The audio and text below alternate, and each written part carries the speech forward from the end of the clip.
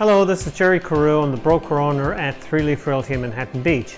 Uh, today's listing is actually just down from my office. The address here is 1716 9th Street in Manhattan Beach. Single family house, one level, with a pool, and it has three bedrooms, two bathrooms, around 1700 square feet. The lot's 7500, so it's really nice, mid block, and the backyard and pool is all south facing, which means you'll get the most sun.